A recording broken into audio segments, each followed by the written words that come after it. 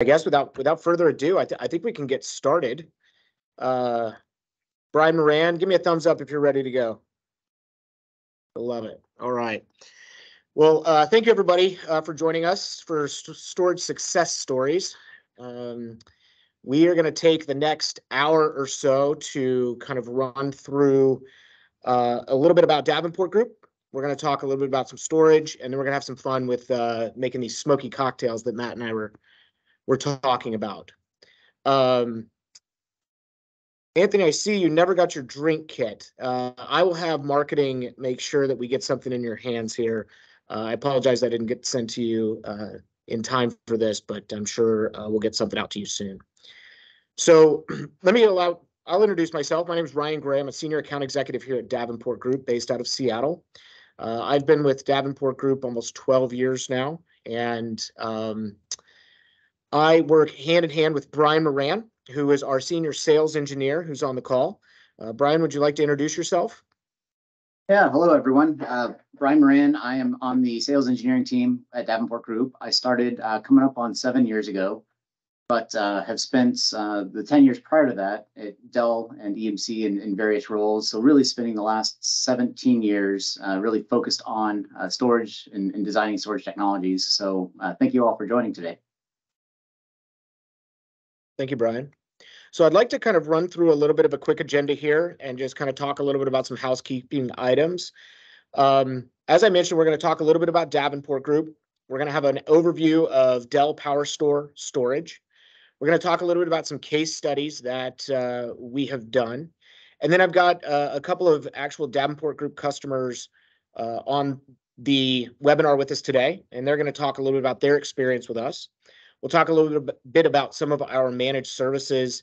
And uh, I think the main reason everybody is here is for the spooky mixology. So we will definitely look forward to that as we go into the afternoon.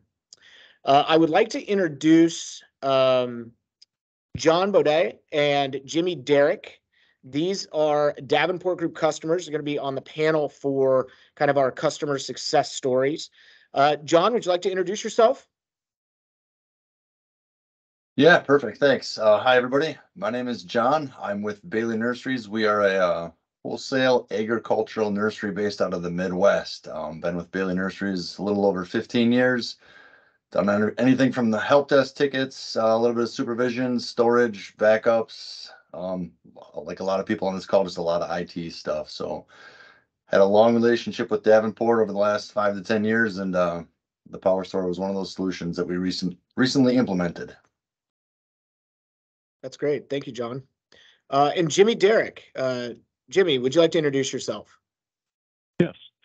My name is Jimmy Derrick. I'm been with Smith Anderson here in Raleigh, North Carolina for over 10 years now. I've been in IT for well over 20, um, serving all kinds of roles from consulting to IT manager to IT security manager now. So handling anything and everything in between, just like John. Glad to be here. Well, we really appreciate you both joining. Uh, and we look forward to hearing more about kind of your interaction with Davenport Group and the success that we've had together. Uh, before I turn it over to um, Brian Moran, we'd like to introduce uh, Jace McConnell, who's going to be the mixologist this afternoon to kind of talk us through these spooky cocktails. Uh, Jace is one of the South's most recognizable and respectable bartenders. Uh, he was named Eater Magazine's Young Gun in 2013. His work has been featured in numerous publications from Garden and Gun to Popular Mechanics. So I look forward to the mixology probably the most, to be quite honest. Before I go into about Davenport Group, I would like to encourage people to uh, come off mute. Uh, if you have a question, feel free to chime in, uh, or you can use the little uh, raise your hand emoji. Uh, we will have some people kind of moderating the chat to uh, answer any additional questions that you have. So, so let's talk a little bit about Davenport Group. Uh, who are we? You know, why is it important? Um, Davenport Group is a Dell Titanium partner specializing in data center solutions. So if you think servers, storage, networking, virtualization platforms like VMware, Hyper-V, multi-cloud, Uh, I have a um, counterpart who uh, always says the Davenport Group can do everything from the mouse to the cloud. So, for those of you that uh, know us and know us well, thank you for joining. Um, for those of you that are new, I want to touch on a couple things on this slide. A majority of our customers do business with us. Um, one, because of the technology that we sell. We believe that Dell has the best technology in the industry. We see Michael Dell's vision for IT, and um, we have a very, very similar vision. But most importantly, our customers do business with us because of our engineering group. Our engineers are the bread and butter of Davenport Group. They are the ones that make our customers successful in all of the projects that we work on. A majority of our customers were former customers of ours, working in multiple roles from system administrator to director of IT. Uh, they liked how we did business so much that uh, they decided to come work here. All of our engineers are certified in the technologies that we sell in order to implement them as well as support our customers after point of sale. So customer experience is at the heart of what we do. We have a mantra that we treat every customer as if they're our only customer.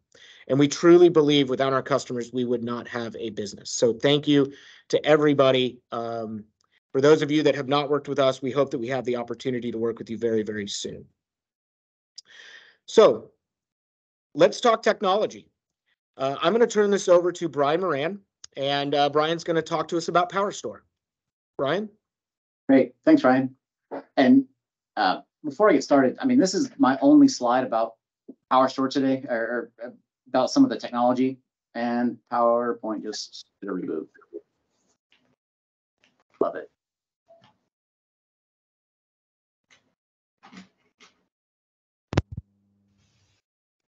There we go. Are we back?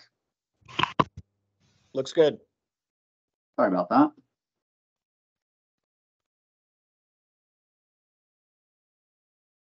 Okay, here we are.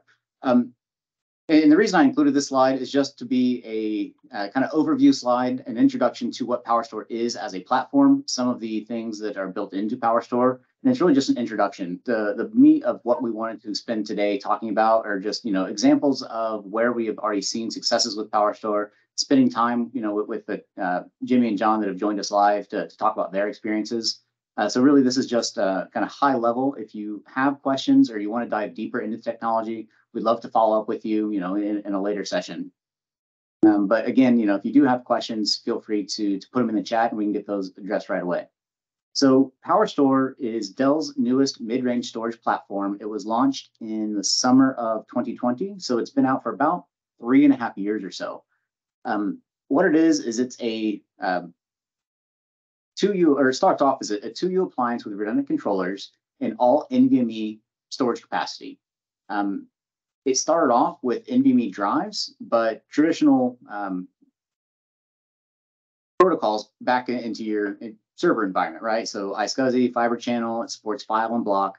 Uh, but with software updates that have come out uh, since the initial launch, you know, free updates to, to customers that already deployed PowerStore, PowerStore added the ability to do NVMe over Fabric, right? So if you had Fiber Channel, instead of doing a traditional Fiber Channel, you can do NVMe over over you know uh, over Fiber, or even now with a more recent release, NVMe over TCP, right? So think like you know, I, I think I saw a few PowerStore customers already on the line. If you're currently running PowerStore and you have the the you know the right switches, you can take that you know say iSCSI deployment that you're running now and convert that over to NVMe over TCP, uh, right, for your VMware Hyper-V environment, and just get that much better performance, you know, out of out of the you know, technology that you already have in place, right? So really, it's end-to-end NVMe. One of the things I like about PowerStore is the way that it scales. Um, you know, I've worked with uh, a bunch of storage platforms over the years, and a lot of times, you know, you only need a, a, few more terabytes for a new project, but you're forced into buying an, you know, an entire appliance or you know half a shelf the way that PowerStore scales is one drive at a time. We've been installing PowerStore for, you know, like I said, three and a half years now, and we've had a lot of folks uh, that were early adopters that have added, you know, one or two drives, um, you know, over the years, and they just budget like, hey, we're going to plan on needing a drive every year, and we're just going to add that to the budget, and they're able to pop those in one at a time and, and scale that way. Uh, once you fill that 2U appliance, you can scale the um, solution by either you know daisy chaining additional trays of disk again, also over NVMe connectivity between the head unit and the expansion trays, or cluster multiple appliances together and manage the entire solution kind of as, as a federated storage solution, right? So, so I work with a customer locally that has a couple of power stores already clustered together, managed, you know, is, is one solution. Um, one thing I'll call out on the built-in data protection, uh, this is a, a, brand new feature that came out over the summer. Uh, the acronym PPDD, that is Power Protect Data Domain. So if you already have data domain in your environment, what this feature um, enables as of the 3.5 release over the summer is to take snapshots from your power store and extend the kind of protection off the power store directly to data domain, right? So you're used to using data domain with some sort of backup software orchestrator. Um, you know, maybe it's like Power Protect Data Manager, Avamar, um, you know, some third-party product. Now you're able to take snaps directly from PowerStore and move them over to data domain. Um, NVMe uh, storage technology is incredibly fast, but it's also, you know, still a bit of a price premium over um, traditional SSD. One thing that Dell has done really well is they've developed an inline deduplication and compression engine that's always on. It's not configurable. It's not, you know, per volume. It's it's always on for all workloads with no performance hit to, you know, to the rest of the system. It works so well that Dell has a written four to one data reduction guarantee. So that means, you know, I mean, simple math. If you have 25 terabytes of, of flash, that's 100 terabytes that you can use in your environment. Um, that written guarantee, it's like two or three pages. It's pretty simple to uh, to understand, but there um, are a couple of data types that are called out uh, that, are, that are excluded, right? So not all data is going to deduplicate or compress at the same rate.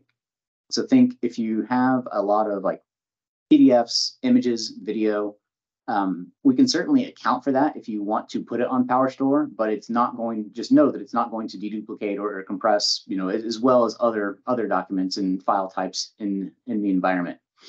Um, what we typically see um, with deployment, you know, if you're not intentionally designing a solution like a, a separate type of solution for, let's call it your rich media, a lot of folks blend somewhere in that two to three to one, right? So that same 25 terabytes of NVMe data or capacity is maybe 50 to 75 terabytes of, of effective capacity without having to worry about you know a separate storage appliance for you know the rich media in your in your environment. Um, but like I said, it is a written guarantee, uh, and there is some um, you know Dell stands behind it. We've had uh, multiple instances where you know there wasn't a large percentage of that rich media, and, and so customers still weren't experiencing you know the, data reduction that they were expecting on the platform.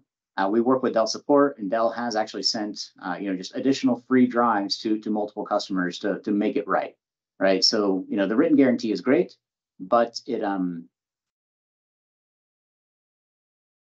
um yeah. So so I mean, like, I said, the, the written guarantee is is there, um, but just know that you know we're going to have a lot of uh, kind of in depth sizing conversations to understand your specific data type before we just say you know, hey, you need 100 terabytes, here's 25, it'll work. Um, and then Cloud IQ. I hope uh, if you have Dell Technologies in your environment that you are already leveraging Cloud IQ. It came out in 2016 and it is a completely free software as a service hosted by uh, Dell as long as you have active support contracts. So it came out with the launch of Unity, but it has been expanded to work with data protection products. It works with server products. It works with uh, like PowerScale. It works with just about everything in the Dell Technologies enterprise portfolio. And what it is is it's a just a dashboard to log into to get uh, health scores, security scores, um, you know, maintenance checks, right? So you can see kind of what code you're on, what target code might be, and sometimes you can even push upgrades from right there in the portal. Um, it is, you know, like I said, it, it's a it's a online application, but it also has an app, right? So if you'd rather do everything like from a from a um, like your phone or tablet, you know, there's an app as well. So super simple to use and, and completely free. Uh, and so, of course, you know, PowerStore plugs into to Cloud IQ uh, along with all of your, you know, Dell servers and, and everything else. It's the wrong way. Right. So the one call out here I'll talk about is the anytime upgrade. Um, you know, moving from one technology to another technology sometimes you know there's maybe planned outages or you know migrations that have to take place And so what Dell has done is uh, designed PowerStore in a way that once you are on PowerStore, it is completely upgradable from one version to the next without having to, to move your data around, right? So uh, when PowerStore launched in you know 2000, it was on the first generation hardware. Uh, about a year and a half ago, they launched a second generation, right? So the first generation was like a PowerStore 1000. Now they've got a PowerStore 1200. So what the Anytime Upgrade program does is think of it like an insurance program where you can cash in your upgrade at any point, right? So if you purchase PowerStore with like a three-year support contract or five-year support contract, anytime during that support term, you are entitled to upgrade your system. Now, there's multiple types of upgrades, right? So you can go from current generation to the next generation. But let's say um, you know you're already on a 1200, uh, a PowerStore 1200, and now you want to implement like a VDI initiative, and it's going to push you know way more workload onto the system than it was really designed to, to handle from the get-go. Uh, instead of going you know from current generation to next generation, you can also go from uh, current level to next model higher, right? So like a 1200 to a 3200. Um, so it, it's a great program. It doesn't require you to extend your support contract. Like, um, you know, I, I, know some some other kind of refresh programs that are out there. Uh, so, you know, as long as you have uh, like pro support and the anytime upgrade program, uh, you are entitled to these types of, of upgrades on your system. Um, if you're doing these type of controller swaps, it's completely, you know, no downtime, no migrations. You're just going, you know, from one generation of hardware to the next generation of hardware. And again, this is the only slide I have on like the actual PowerStore technology itself. So, I mean, if you have questions, we, would love to, you know, dive into, you know, drive sizes and, and, protocol speeds and all that. It's just, you know, really we wanted to focus more on just how is PowerStore being implemented, um, you know, within within the um, organizations that we work with. Does anybody have any questions about PowerStore? Anything come to mind that we might be able to answer? I actually do see a question about PowerStore versus Unity. Um, yeah, so Unity is a great uh, product. It, it, launched in 2016 and it's on its third generation of hardware, right? So there was like the Unity 300, then the Unity 350, now there's the Unity 380 XT. And, and there are other models, but those are the kind of the three families that, that have existed. And Unity, when it came out, was hybrid or all flash. PowerStore is really designed to be all flash only. There are no hybrid options with, with PowerStore. So if you're just comparing a all flash Unity to an all flash PowerStore, Unity relies on you know your traditional kind of TLC SSD type media, whereas a PowerStore is going to be NVMe. Um, Unity All Flash is included in that same data reduction program, but Dell's guarantee behind Unity All Flash is only three to one.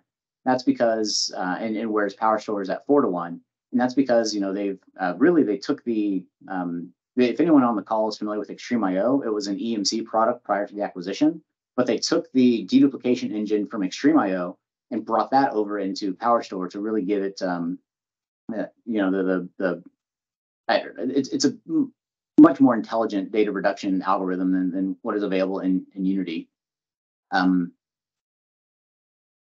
both platforms are multi-protocol, so they both support, you know, iSCSI, Fiber Channel, um, SMB, NFS, right? So, so they're both uh, file and block capable. Um, really, where where I see is PowerStore is kind of the, the next generation, though, of the of the platform, right? So, I mean, the Unity XT launched in 2019, so the current model, so it's four years old. And I'll, I'll, tell you, I have not seen a hardware roadmap beyond kind of the, the current generation hardware. There will be updates to um, you know the, the, code running on Unity. It is still for sale. It is still a supported product. It's just all of the R and D effort is really being put into PowerStore going forward. Yeah, Brian. Um, Ed Ed had a question, and, and Jimmy answered it in the chat around uh, support. And does Dell monitor the PowerStore unit 24 7. Can you can you yeah, touch absolutely. on how they do that? Yeah, so PowerStore uh, has two available phone home options. So the PowerStore is kind of your only technology uh, from from Dell, and you want it to phone home. That is built into the native phone home capabilities, um, like right there in the in the PowerStore GUI. Um, if you have a broad uh, or, or, an expansive deployment of, of a number of different Dell technologies, all of them phone home, and so Dell has developed a uh, virtual appliance for Support Assist. And so you can have all of your various Dell Technologies products report into one uh, virtual appliance for support assist that then phones home. So you can have individual products each phone home independently or route all of that traffic through through a single support assist appliance. But that is a 24 um, 7 monitor. I've actually heard instances where uh, tickets are opened on customers' behalf before they even realize that you know there was a, a drive outage. Uh, same thing with with Cloud IQ. If you, I mean, Cloud IQ is, is completely opt-in. You don't have to use it. But if you are using Cloud IQ, you can get reports pushed like to your email uh, immediately as soon as uh, you know an issue is detected as, as well, right? So that is real-time monitoring of, of the environment. But uh, with that support assist, it does phone home directly into Dell support. And then Brian, I, I know you touched on uh, kind of the deduplication ratios. Um, you want to talk a little bit about kind of the real world scenarios that we've seen customers maybe you know signing the, the guarantee to get four to one and then maybe they're not necessarily seeing that what dell does there? Yeah so like i said you know a lot of our customers are, are getting somewhere between two and three to one and that's because yeah i mean we know that going in right? We, we have those conversations to understand what the data types are and they're like yeah it's a, it's a small amount of our data but it's you know five terabytes and we just know that that five terabytes isn't going to to produce well um, and so we go into sizing, you know, saying, hey, you know, we think this might blend to be a three to one type type deployment. But um, specifically, let's say, I mean, Ryan and I were working with a uh, organization that um, had had deployed PowerStore, and they were only getting two to one. They were getting half the capacity they were expected. They didn't have rich media in the environment. Dell actually doubled the number of drives uh, that they had originally purchased right? So they had nine drives originally, and this is two different systems. So they had nine drives. Dell sent them 18 more drives completely free of charge. So that was nine drives per system to to make it right, right? Because I mean, Dell did their due diligence, looked at the data, saw that there was no rich media. I'm not, I'm still not sure exactly why they weren't seeing, you know, the data reduction. Uh, I mean, there's probably images hitting hidden somewhere in that in that environment. But uh, I mean, Dell stands behind it, made it right, and sent them, you know, 18 more more additional drives. Yeah, they also, eh, just to add on to that, not only did they send the drives, but they actually sent a second enclosure as well for additional scalability. Uh, and so really the message there is that, you know, Dell is holding up their end of the bargain on these four to one guarantees uh, across the board. And uh, we definitely encourage customers to to sign those particular guarantees um, as if you're evaluating PowerStore.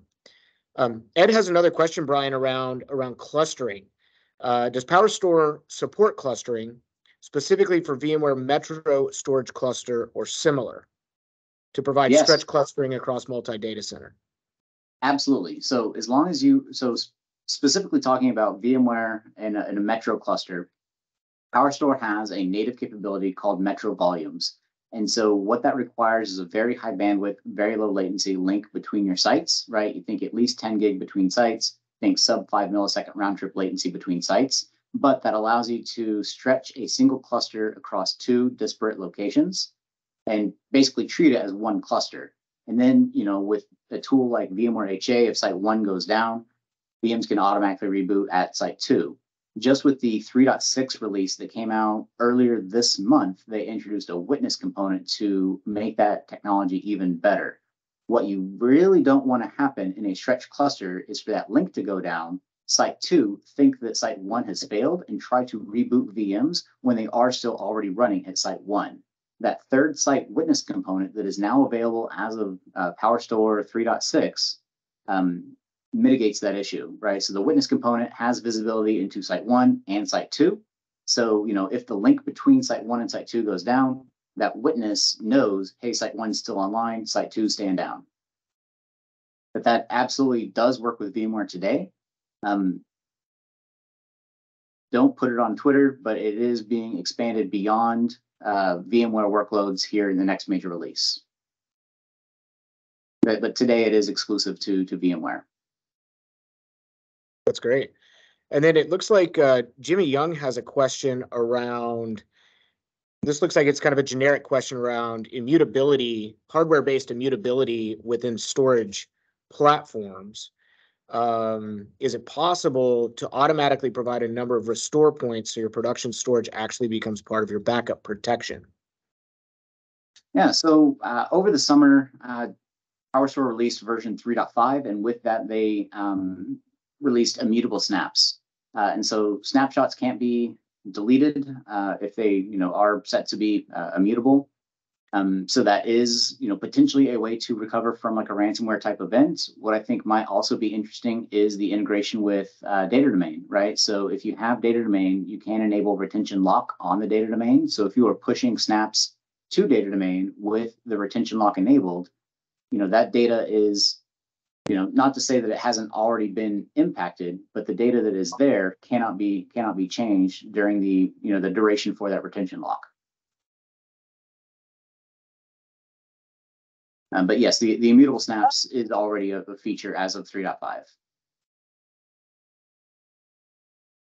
Cool. And, and again, I mean, we could probably spend the, the entire time diving deep into PowerStore, um, but I want to make sure that we're, you know, conscious of time. Um, okay, so, Yeah. um, I'll I'll take this as a last question and we can, I mean, I'll, I'll still be on the chat, you know, we can chat during the, uh, the mixology too. But, um, transferring storage. So PowerStore does have the ability to natively import from other Dell technology storage platforms. All right. So if you have Unity, if you have Compellent, if you have XtremIO, Dell can natively import a lot of those workloads without leveraging technologies like Storage vMotion. Right. So if you are in a VMware environment, a Hyper-V environment, and you can use the like hypervisor itself to migrate storage, that's probably the easiest path forward.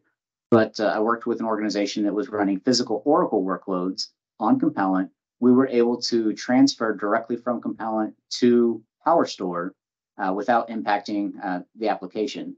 When that came out, it was exclusive to Dell Technologies storage platforms. It has since been expanded. I think NetApp was added. Um, Pure is not yet on on the list, right? So doing a non-disruptive migration from from Pure to PowerStore, we would be looking at a technology like a Storage vMotion uh, or like you know, as, as fun as it is, RoboCopy, you know, if it's a file-based workload. But I'm going to go ahead and, and continue into some of the case studies. But again, you know, if you have more questions, we uh, we can you know follow up offline, or we can you know chat during the uh, the drinking. Yeah, that sounds good, Brian. So let's let's talk about. We've got three case studies we're go- we're going to review with everybody. Uh, the first one is actually a financial institution in. Uh, I'm actually not sure where they're located, to be quite honest, but um, these guys actually upgraded their old SC storage array. And for those of you that aren't familiar with SC storage, uh, maybe you've heard the term compellent in the industry. Um, their whole goal was to actually reduce kind of their colo footprint as well as cost uh, to increase capacity and performance. Uh, so, Brian, how did Davenport Group help in this particular situation? Yeah, and so this uh, this was another longtime uh, Davenport Group customer. Uh, they had their own data center that they had gotten kicked out of, and so you know they had made a business decision to move to co-location facilities. And so they still had two data centers. They had a primary and a secondary, both at separate uh, colos. I mean, managed by the same company, just in different regions. Um, but you know, with the Compellent, they had been a very long time uh, user of Compellent, and so they had a lot of small spinning disk in their systems. And you know, to reach the 300 terabytes where they were, it just took a lot of shelves. And so they had two full racks at each of these coloca- co-location facilities, just full of spinning disk. Um, you know, and so if you're familiar with colo, a lot of times you're charged by you know the, the rack unit or the rack, especially the power, uh, all of these different things that you know storage. I mean, their their previous storage, the, the Compellent. I mean, it just took a lot of space. And so, you know, we we ran some sizing exercises and we're able to consolidate from two full racks of storage down to a single 2U appliance with over 500 terabytes of effective capacity, right? So PowerStore has a number of different drive sizes available, as small as like two terabytes up to 15 terabytes. And so using some of those 15 terabyte drives, we got them over 500 terabytes of effective capacity in that 2U footprint, moving from spinning disk to, you know, NVMe SSD, then went from over like, you know, 10,000 IOPS or so for, you know, a couple hundred spinning disk to, you know, 100,000 IOPS on the um, PowerStore platform. So drastically shrunk, you know, their their, colo footprint, saving, you know, a lot of cost in the uh, in the process. That's great. So on the second, the second case study is a little bit different. Uh, these guys are actually a local government. Uh, and they were upgraded their legacy non-Dell technology storage. And they were trying to provide uh, near zero recovery point and recovery time objectives for critical health and safety systems and eliminate Oracle support cases. Brian, you want to touch on this one? Um, yeah, so, you know, Davenport Group works with a lot of like, uh, state and local governments across the country. And, you know, a lot of these SLED customers run like true tier zero mission critical workloads, right? You think like nine one one dispatch type, type workloads where lives are actually at stake, you know, if, if systems aren't online and available. Um, and so, uh, going back to the question about, you know, metro volumes and active active, um, capabilities with, within PowerStore, uh, this was a, a VMware shop. And so what they were able to do was leverage that native ability to, to deploy metro volumes. Um, it's a county, you know, so they had their own dark fiber, which, you know, made it a lot easier to hit the bandwidth and latency requirements, but stretch, you know, far enough to have kind of facilities on, on, you know, opposite sides of the county. But we um, deployed metro volume. What, uh, so synchronous replication, what that really means is, you know, every single transaction that comes in on the, um, on the, on the primary system is duplicated at the second site before it's even acknowledged back to the application. And so, you know, not a single transaction is lost. And then now with the, you know, witness component that just came out a few weeks ago, even if that link goes down between sites, those workloads will automatically reboot. Um, you know, well, I guess going the, the witness will dictate, you know, if they need to reboot at the second site or not. But the way that they had it set up was, um, you know, wi- without the witness, to, to go ahead and and reboot at the second site if, if the second site you know, detects anything wrong with the first site, just because that witness component wasn't available. And so, you know, you're talking about a brief outage to do like a reboot, but um, you know, it, it's it was critical for them to make sure that you know their application suffered near zero kind of kind of outage, and we were able to achieve that with the with the native Metro volume that, that came out in um, 3.0 last summer. Uh, the other thing was, you know, this customer was a large Oracle, um, had a large Oracle footprint, and you know they had a hybrid storage array, and they were constantly on the phone on a weekly basis with Oracle trying to diagnose various performance issues. After moving to PowerStore, it completely eliminated all of the performance issues within the environment, and they freed up like literally multiple hours every single week just by moving, you know, from a hybrid storage system to this power PowerStore um, you know, with, with NVMe technology. Oh, Jace is here. It's time to time to get ready. All right, let's get through uh, the case study and then we'll talk with uh, John and Jimmy and then we can get on to the cocktail making. So this third case study was a national law firm. Uh, these folks were trying to consolidate four separate uh, both Dell Technologies and non-Dell Technologies storage platforms to reduce complexity without sacrificing the benefits of the existing solutions. Yeah, and um, so this particular uh, customer had purchased really point solutions for specific problems that, that they were facing, right? So they wanted like a, a resilient NAS environment to replace like the Windows server that they had. So they went and found, uh, actually was Dell Unity was the platform that they had purchased, you know, specifically for the NAS capabilities built into Unity. Uh, they um, had some some extreme performance requirements, uh, and so they had an all-flash system specifically for those, you know, performance requirements. Um, they had another system just because they liked how it was easy to manage. And then I don't even remember what the fourth, but yeah, so they had these four different point products, each with their own management interfaces, each with their own support contracts. You know, we talked to them about everything that PowerStore could do. And, you know, it was almost like a light bulb, like, wait a minute, I could get rid of all four of these products and consolidate everything that we're doing onto just one platform, right? So I don't think I called it out, but, um, you know, encryption is something I hear in almost every conversation, right? Some sort of either internal or external requirement for encryption. Uh, PowerStore does have data at rest encryption always on. Uh, there's not a way to turn it off or, or disable it. Um, by default, the keys are kept on the controllers themselves. There's no extra complexity required. If you do have a requirement to keep the keys, um, you know, off the array, it does now integrate with third-party key managers. So if you have like a centralized uh, repository or way that you're you're managing uh, encryption keys, uh, certainly supported as well. Um, but really, at the end of the day, they're drastically simplify, you know, the environment. Um, ease of use on mean, it's an HTML5 interface. Um, it- it's super simple. I'd love to do a demo for you, you know, at some point in the future, just to show you, you know, how much easier it is to manage PowerStore versus what you likely have uh, in the, in the environment now. That's great. Uh, to follow up on Brian's last comment there, if anybody's interested in a demo uh, of Power Store, please don't hesitate to raise your hand. Uh, we can take your name down and we can go ahead and get, try to get that thing scheduled.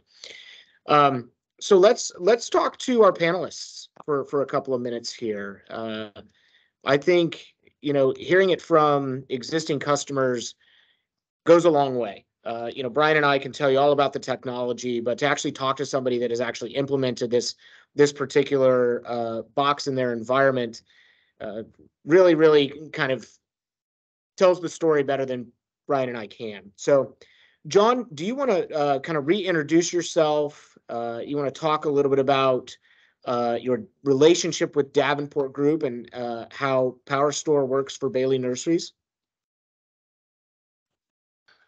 Yeah, right on. Hi, everybody. My name is John with Bailey Nurseries. So we're horticultural ag based in uh, the Midwest, the Twin Cities out of Minnesota. Um, we've been with Davenport for about 10 years. Um, like it's been discussed before, if something's short with Dell, Dell's kind of doing this whole we're going to make it right, we're going to make it good. Davenport does a lot of that too with us. So the last 10 years of whatever, whether it's the the engineering team or the sales team, they they do the right thing. So they're not gonna under deliver. They're gonna do what they can to to hold true to their promise. The big thing for us was the, the people that come on site, the actual engineers, the ones installing and implementing the the solution set, really do a fabulous job. Um, for us, we've talked to other people in our ag industry that have gone with some HP this, some Dell, some of this keeping everything for Dell for us was kind of a no-brainer. One umbrella with with Davenport and Dell from from host to storage. It, it keeps us from chasing ghosts. You know, you can't find why this is slow or why this is underperforming.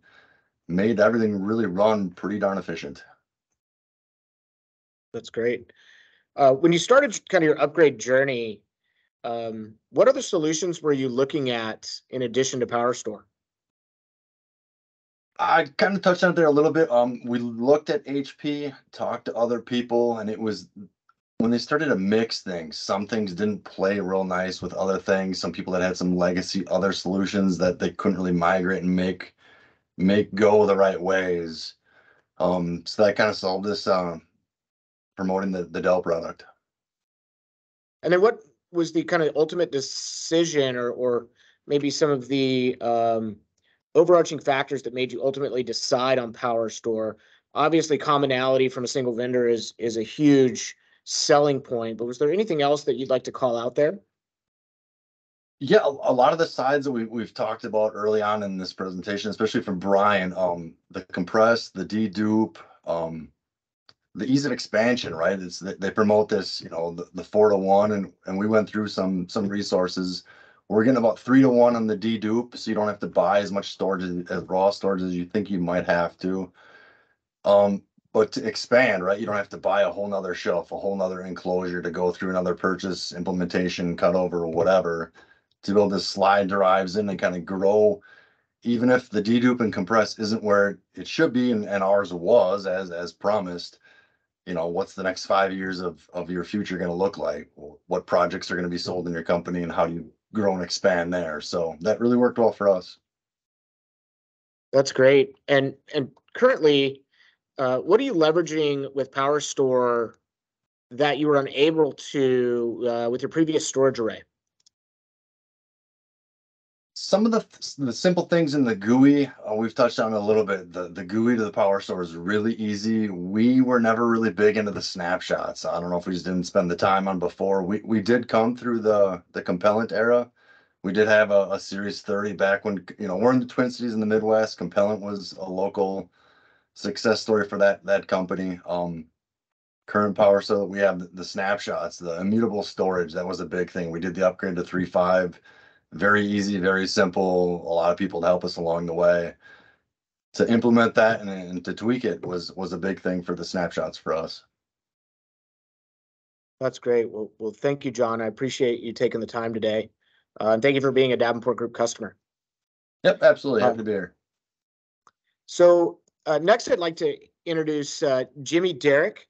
Uh, Jimmy, would you like to uh, reintroduce yourself to, to everyone on the call and talk about your relationship with Davenport Group? Happy to.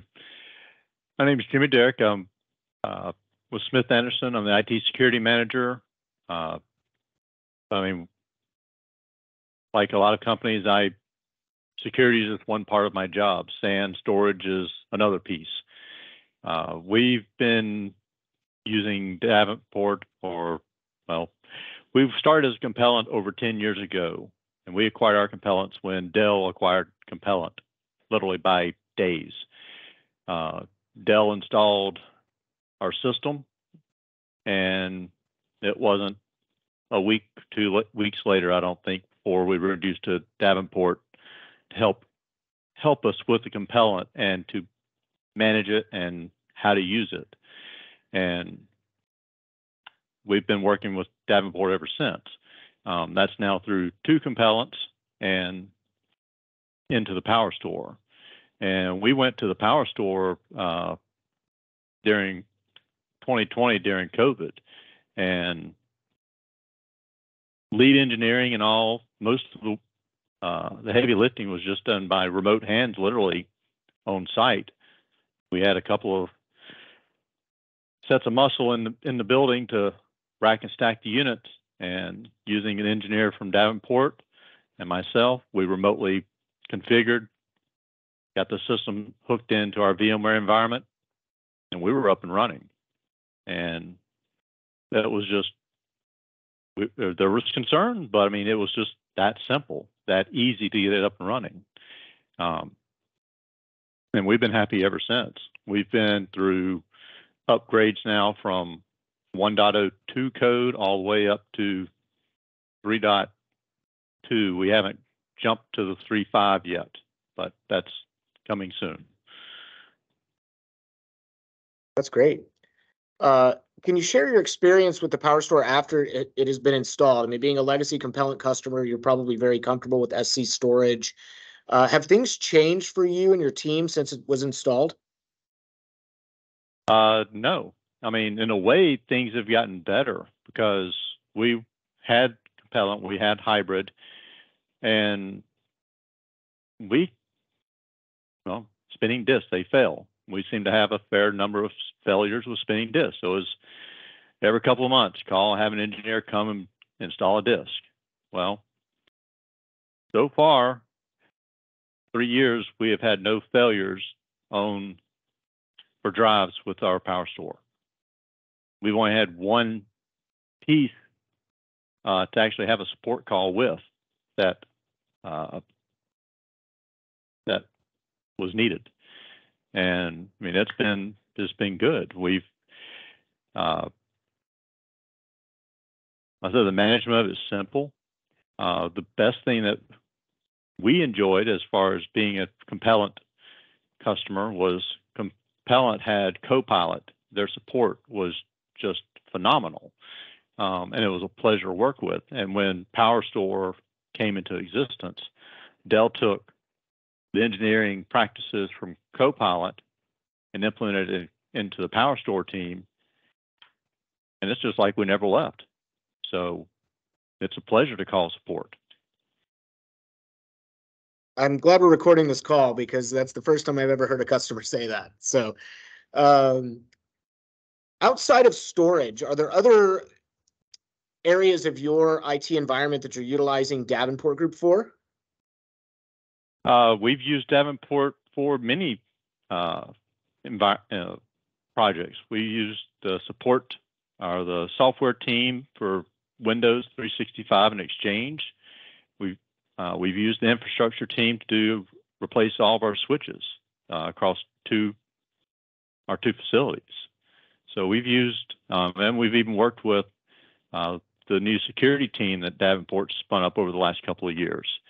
So yes, we've used Davenport for many different projects and looking forward to continuing to use Davenport.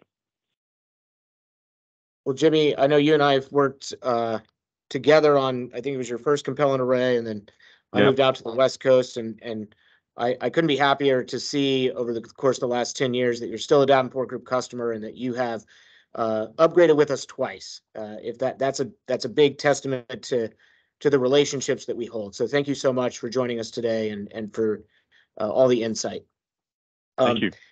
it's actually a perfect segue uh, talking about some of the other stuff that Davenport Group does. Uh, over the course of the last uh, probably year and a half, we've actually rolled out a new managed services portfolio. Uh, this is a white glove, fully managed services offering uh, where we have kind of three tiers of service. And the reason that we rolled this out was really because we were listening to what our customers were saying. Our customers were saying, we have to do more with less. We don't have enough time on our hands. Uh, we love how your engineers come in and work with our teams. Uh, do you guys have managed services? And, and we didn't for a long time. Uh, now we do. And so within these three different buckets really kind of depends on uh, where you might have a need. Uh, we have advise, advise and assist, and, and manage. Um, with advise, you get a dedicated technical uh, account manager. We do quarterly health checks. Uh, we do biannual patch upgrades, annual version upgrades. If you go with advise and assist, you actually get a block of 40 remote block hours. Now, these block hours can be utilized for multiple things in the environment from uh, networking to primary storage, uh, VMware, Microsoft, uh, really kind of a, a whole entire list of things that our engineers are certified in. And then if you're looking for something that might be, uh, you need a little bit more hand holding, or maybe you need an extra set of hands on a regular basis, uh, we do have a fully managed offering. And, and this is a little bit more in depth and can be and can be customized to to your particular needs. Um, it can include, you know, monitoring, alerting, configuration, and documentation services, I was just talking with a, a client last night uh, who has just taken over a new environment and um, she doesn't really understand what she has right now. And so she's going to talk to us about uh, some performance troubleshooting stuff and some configuration and document management portions of where they need some help. So if you're interested in, in talking a little bit more about Davenport Group Care, uh, we can get you in touch with your account executive and our engineering team. Um, on the other side of the Davenport Group Care aisle is, is actually DG Secure. I do not have a slide on DG Secure, but we all know security is very, very important in this industry. And we have one of the best uh, field chief information security officers on the planet. Uh, Brian and his team, Brian was a former customers customer of ours that uh, worked for a DoD contractor, and he has built out our security practice. So if if that's something that interests you, please let us know. We can we can schedule a, a follow up call there to talk more about our free security assessment as well as uh, some of the DG secure elements of of that particular service. So, um, all right, Brian. I think uh, does anybody have any questions? Either about PowerStore or Davenport Group, or any questions for uh, Jimmy or John?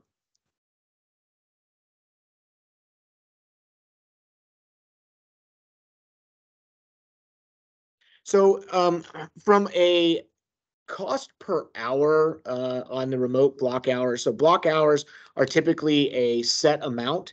Uh, you would want to work with your account executive on that. Uh, typically, we sell them in 40 hour chunks.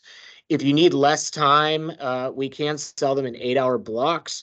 Uh, I don't know off the top of my head. I think it's probably somewhere between, you know, three twenty-five to three fifty an hour is probably a good ballpark number there. Um, so if if you are interested in that, I'd reach out to your account executive.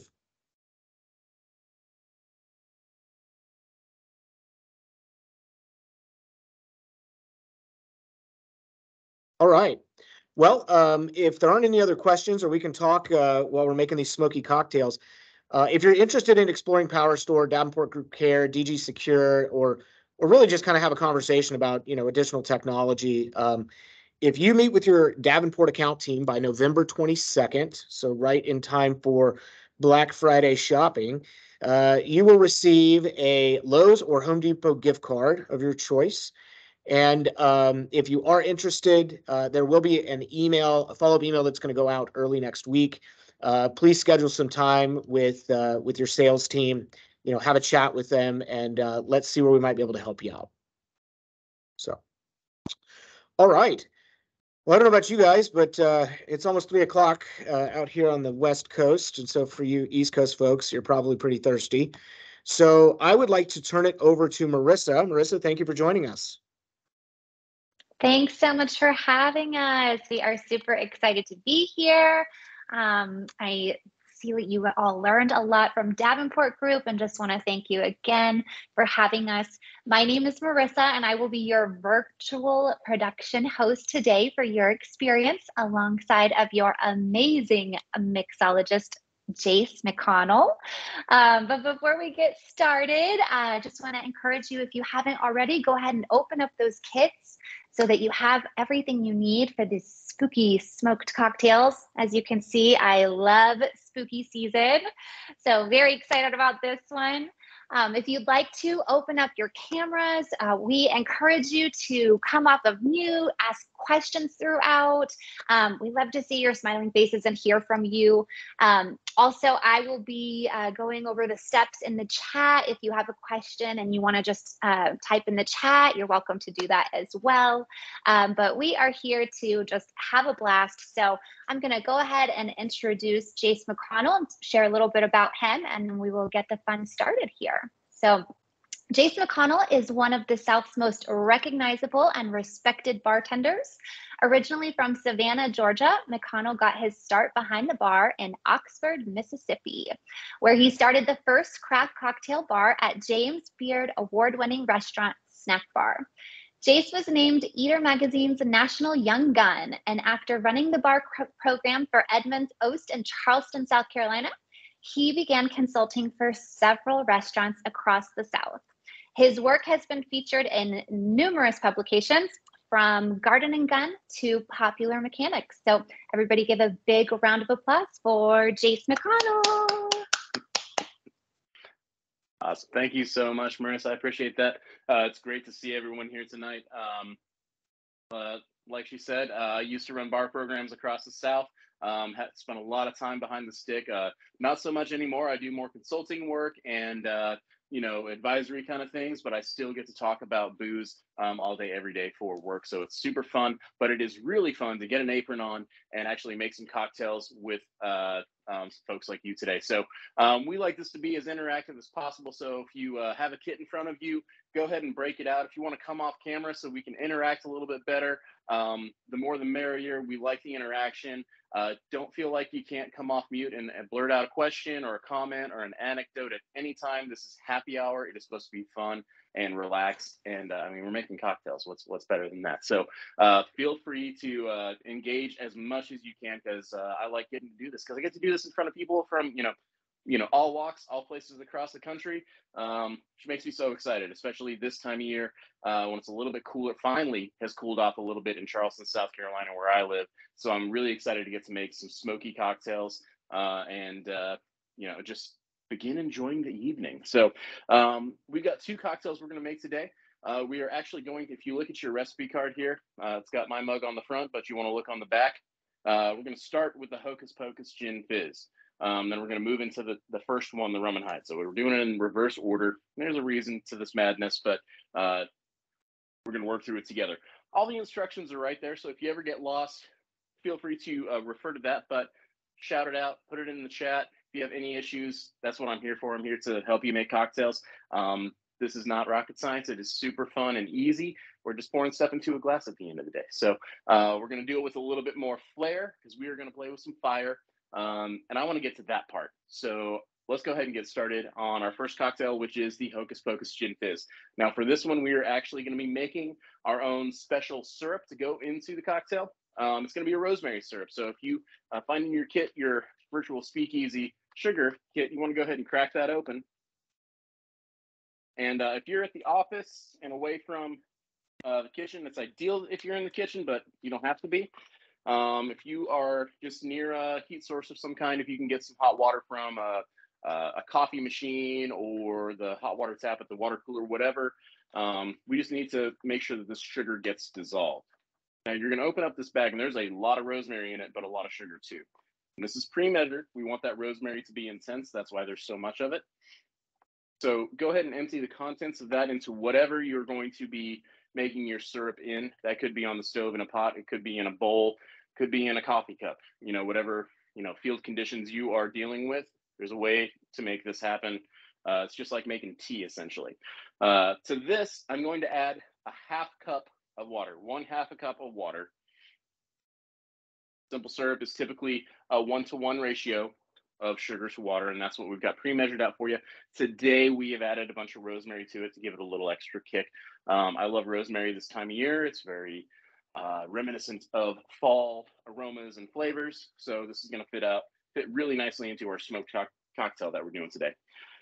Uh, so I'm using a convection burner today. Um, you just want to give this a quick stir, no matter what you're using. Make sure that all that sugar is kind of incorporated.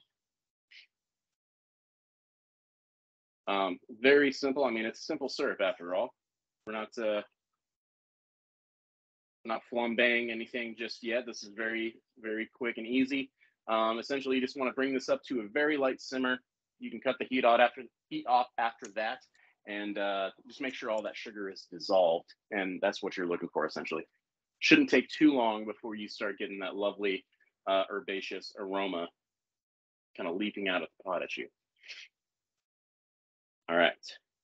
Uh, in the meantime, make sure you have everything that you need in front of you. You will need some ice, uh, and you're going to need a couple cocktail glasses. For these, I just prefer to use rocks glasses because we have our special friend here, our cocktail smoking device uh, that actually sits right on top of your cocktail glass. So that's what you want to have handy to uh, get that smoky element into your drink. Does everyone have everything they need in front of them? I'm looking for thumbs ups or shout it out. Looks good so far. Awesome. Good stuff. Um, yeah, th- these are some of my favorite experiences because I mean, my, I get to go back to my Eagle Scout days and play with fire. Uh, we're breaking a lot of rules, obviously, because I'm inside playing with fire. They tell you not to do that in Scouts, but um, we're gonna make some concessions here. All right, so just give this a little stir now and then as your syrup is coming up to a simmer pretty quickly, you know, as you know, depending on the stove you're using or your heat source, you should start to get that rosemary aroma. Just like I said, uh, it that is exactly what you're looking for. You want to, just like I said, it's kind of like making a cup of tea, except we're using dried herbs instead of tea leaves.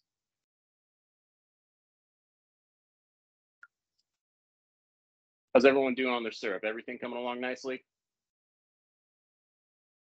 Looks good. I bet that smells Yeah, dig it. amazing. I love that. Um, this is we're using dried rosemary here. Um, if you have a garden in your backyard and you have fresh rosemary, that's even better. Uh, and also, if you have that dried or that fresh rosemary, it's really fun to use that as a garnish on your cocktails in the future uh, because you can actually even toast that really quickly and put that on top of your cocktail. Adds a really nice uh, aromatic experience to whatever drink you're making, especially if you're doing something along the lines of what we have today. All right. So mine has come up to a simmer. That's all I need. Hey, uh. Jace, Go ahead. how much fresh rosemary would you use? Somebody does have a garden. That's so exciting. Oh, nice. Um, honestly, you know, you, you know, kind of rub it between your hands, see how intense it is. Uh, that's the first thing I would do if you've got some really fresh, uh, you know, hasn't quite dried out for the wintertime, vibrant rosemary. Um, for a half cup of water and a half cup of sugar, I would use maybe like five nice uh, long sprigs. Um, you can leave it on the stock, or you can you can pull it off. It'll be easier to strain out if you leave it on the stock. Uh, just throw that in there and do just like we're doing here. Maybe let it simmer just a touch longer, um, so that it, you make sure you get all that uh, that that um, aroma and flavor in there. Um, but yeah, after that, um, that's that's good to go. Um, you want to discard those after that, but then bear in mind you can go back out, get another snip, and you can use that as a really nice garnish. Um, and that that works for if you're making, um, you know, like a holiday punch for whatever holiday gathering you have coming up. You can scale up any of these recipes. Um, rosemary and cranberries and all that stuff that's in season this time of year is really fun to just kind of throw in the punch bowl and you know just just kind of spice things up, make it make it look fun. Exactly. the and next- Matt actually has fresh mint that he wants to put in to addition to the rosemary. Any objections? Sure. Uh, no objections, except mint is a much uh, so rosemary is a lot hardier than uh, mint is. So I would add mint if you were trying to make a rosemary and mint syrup. I would add the mint at like the last second, like right now, and I'd let that steep for maybe a couple minutes and then pull it right out. Um, the reason being, if you overcook the mint, um, at first it's going to release that menthol, that you know lovely green, fresh uh, aromatic that you want. But if you leave it in too long, it's going to start to release chlorophyll, which is kind of vegetal and bitter, and you don't want that in your cocktails. Uh, I always tell people like if you're making mojitos or mint juleps, you don't want to over muddle the mint. You just want to give it a gentle press to release the menthol, but not break down those cells so much that they release chlorophyll. Um, that's not as not as tasty. You know, you don't want it to taste like a can of green beans. You want it to taste like mint. So um, that's a great idea, though. Um, these kind of you know, whatever you have in your herb garden. I love putting herbs into cocktails. I don't think people do it uh, enough, and I, they typically, when they do, they don't do it right. So with those simple tips, uh, I would encourage you to experiment and uh, uh, you know have fun with it. That's the best thing about cocktails, really. Like even if you mess up, you're only throwing away about that much booze, right? You know, you can try again. It's not like if you mess up the whole roast for you know, again your holiday gathering. It's easy to you know try again. All right. now my syrup has cooled off a little bit. Um, now we're going to use our smoker friend here, he's going to pull double duty today. He's also going to act as a strainer for our syrup. So we have to do a little bit of a, it's going to involve a little bit of a, you know, motor skills. We're going to have to uh, strain off a little bit of this into the bottom of our cocktail shaker. So go ahead and put your buddy right on top here.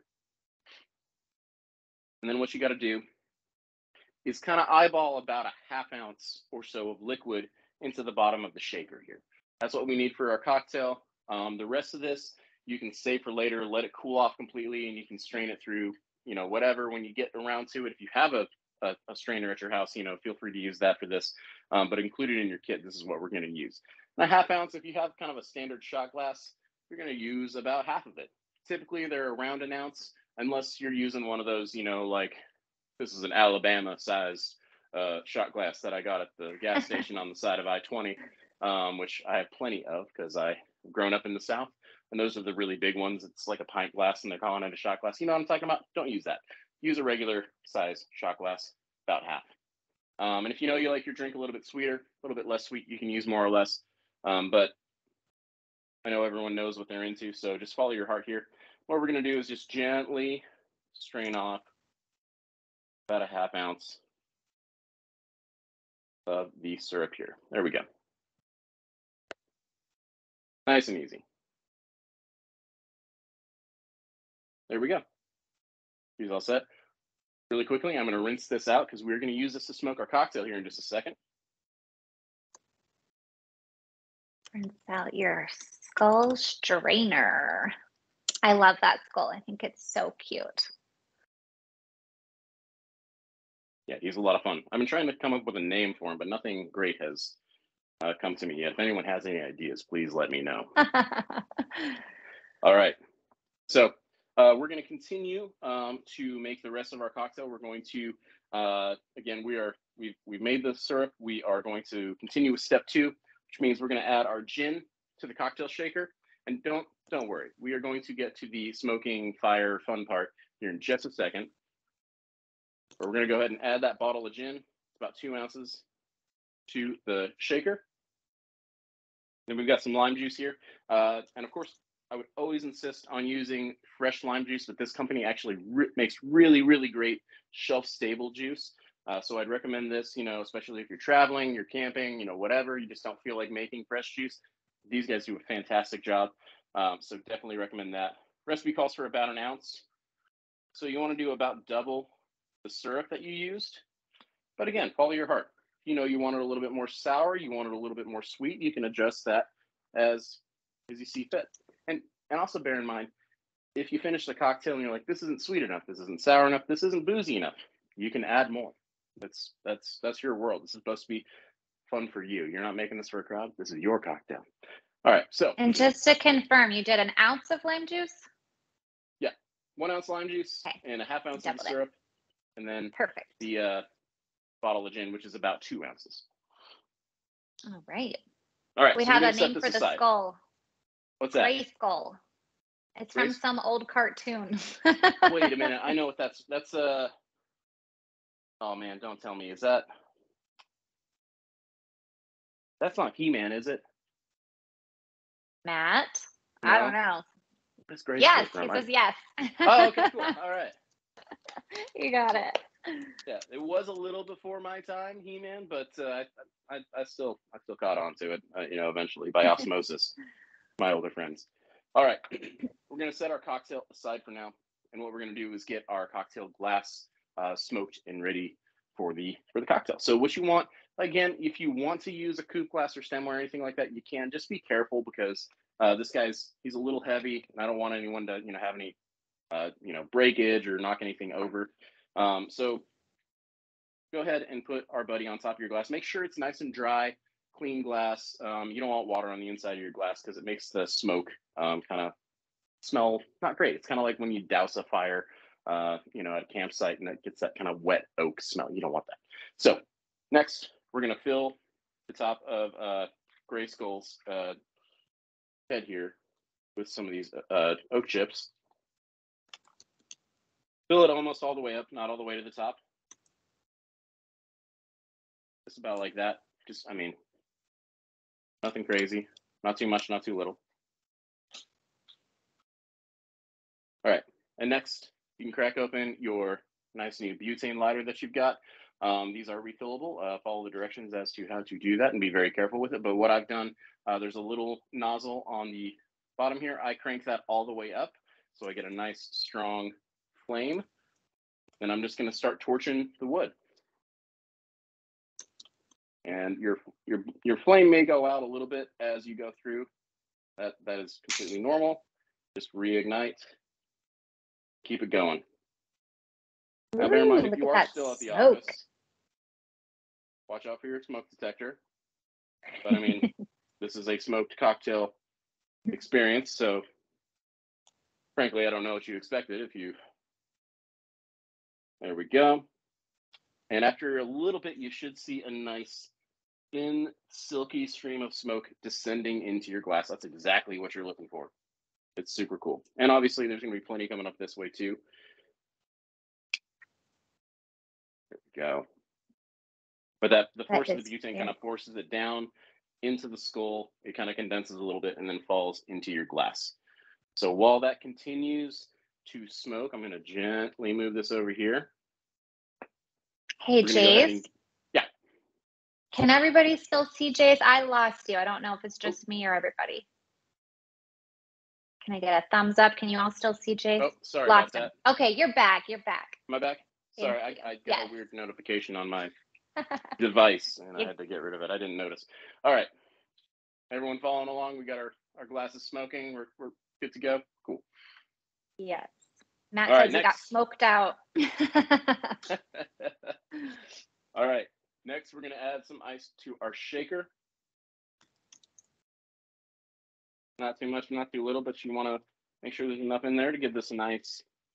Uh, we're going to be chilling this down, diluting it, getting it nice and frothy.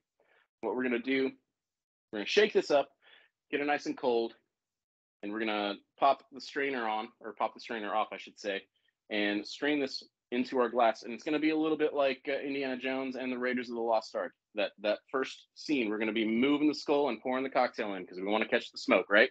So just like that, seeing if you've, I know we've probably seen that. It's we've all been to Thanksgiving dinner or something like that, and it's always on. So here we go. Pop on the top and the cap. Give this a shake.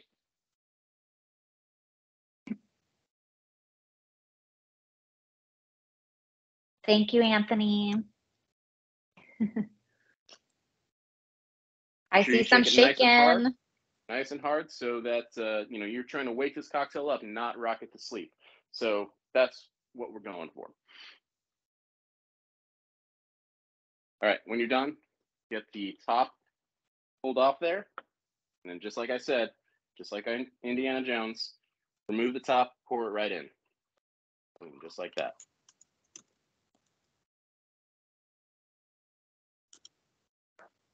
There we go. And then to give this a little effervescence, lengthen it out a little bit, I'm going to add some soda on top. And then if you'd like, we've got a dried lime for you to use as a garnish. You can crack that open and throw that in there. I think the dried lime makes it pretty. Yeah, you want to have something to play with in your drink, right?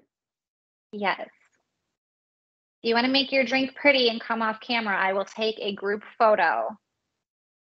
Yeah. I always love to hmm. see everyone's creations. Looks There it good. is, y'all. Hope you all enjoy. Cheers.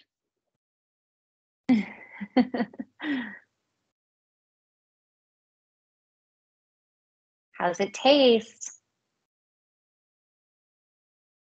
Tastes See good. Ryan nodding. Okay, Yeah. great.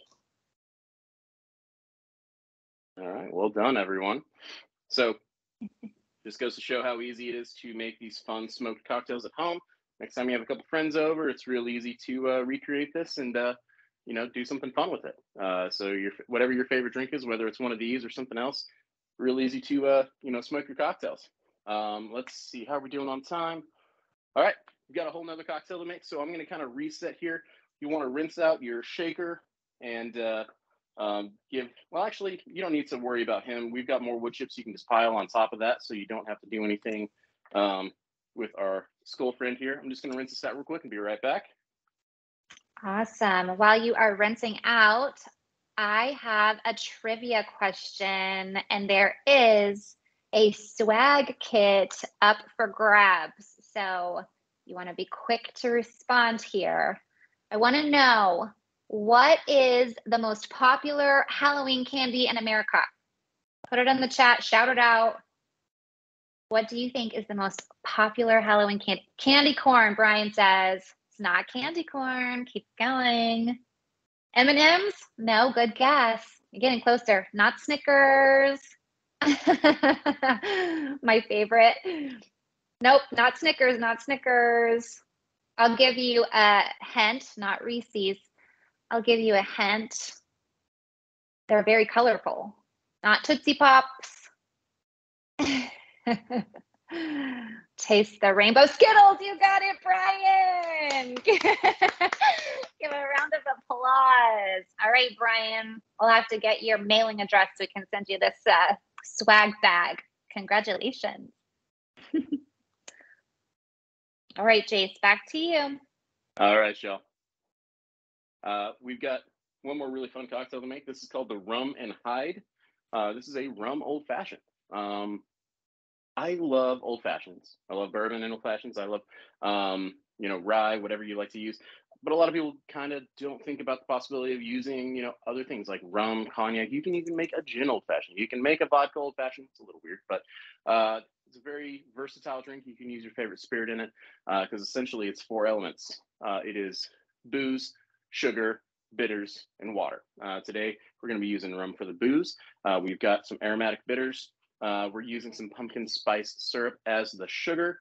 Uh, and then for water, obviously, we're going to be using ice because that's what you do these days. The old fashioned dates back to the early 1800s.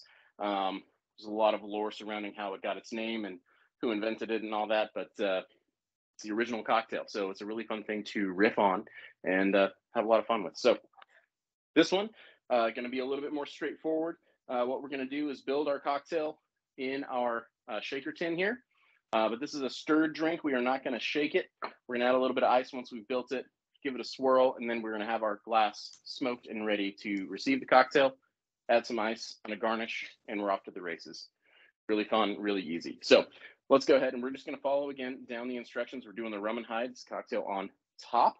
Um, so just like it says, we're going to add two ounces of rum. So just throw that mini bottle right in there.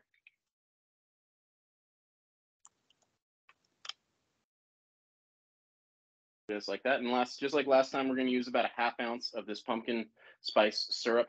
Um, so it's pretty easy to eyeball. You know, if you want your drink a little bit less sweet, you can obviously back off on that. You want a little bit extra pumpkin spice flair in your life, go ahead and add a little bit more.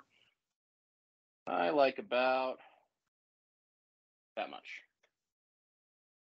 And again, this is an easy drink. If you don't think you added enough, or if you added too much, you can adjust later. You can add more syrup. You can add more bitters. Uh, you can add more ice and kind of you know rounded this drink out if you if you're not happy with the balance that you struck.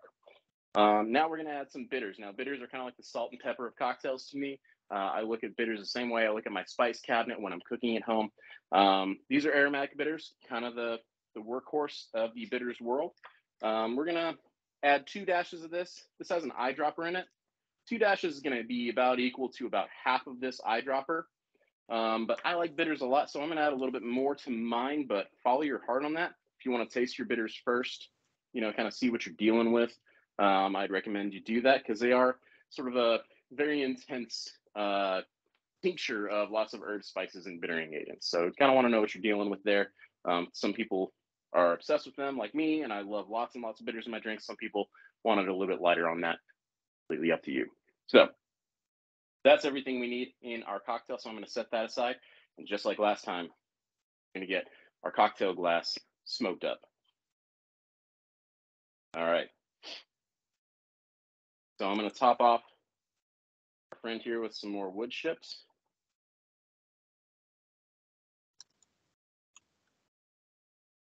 Just like that. And we're going to go ahead and start torching, just like last time.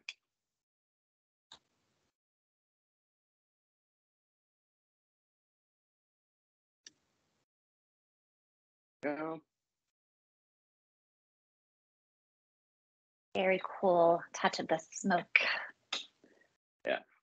Again, okay, there we go. We see that smoke descending from the bottom there. That is what you're looking for.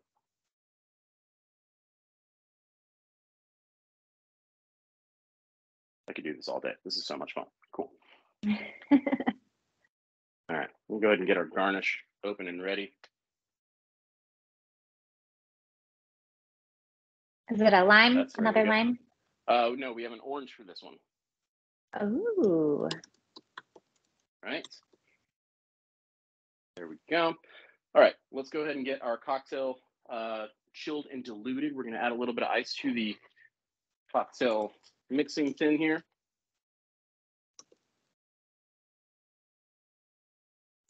Just a little bit.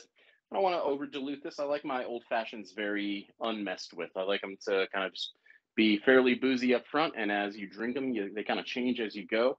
Um, but you don't need a spoon or anything for this, but we're not going to shake it. I just kind of like to stir this around. If you want to use a spoon, you totally can, but like I said, you don't have to mess with old fashions very much. Just a quick little swirl, kind of like that. All right. Put our cocktail strainer back on there. And again, just like last time, like Indiana Jones, we're going to pull off the skull and we're going to pour our drink right in there. So here we go. One, two, three. Beautiful, just like that. Now, if you want, um, and I would recommend adding just a little bit more ice to this. Not too much, not too little.